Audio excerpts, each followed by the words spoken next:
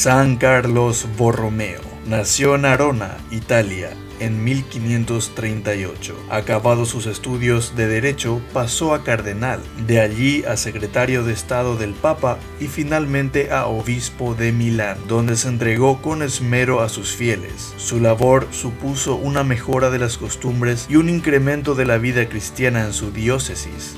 Fue uno de los principales promotores del Concilio de Trento e intentó poner en práctica todas las importantes reformas allí surgidas. Murió el 3 de noviembre de 1584 en Milán, pero su celebración se conmemora el 4 de noviembre.